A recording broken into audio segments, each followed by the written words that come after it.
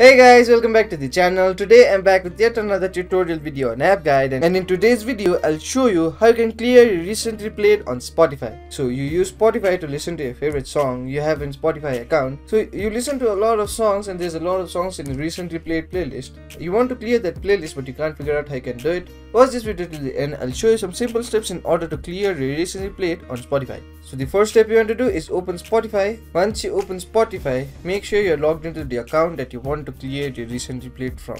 If not, go ahead and log in. Once you log into that account, you'll land on an interface like this. In Spotify, nowadays, you don't have the option to really clear your recently played, but you can hide your recently played from a public profile.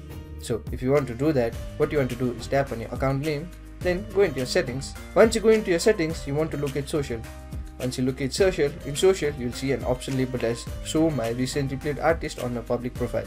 So to hide your recently played from a public profile, you just need to disable this toggle. Once you do that, your recently played playlist will be turned into private. So that is how you can hide your recently played playlist from a social profile in your Spotify account. So that was the simple step in order to clear your recently played on Spotify. So that will be it for today's video. Hope this video was helpful for you. If it was, hit the like button subscribe to the channel and I'll see you in the next video with some new information. Goodbye.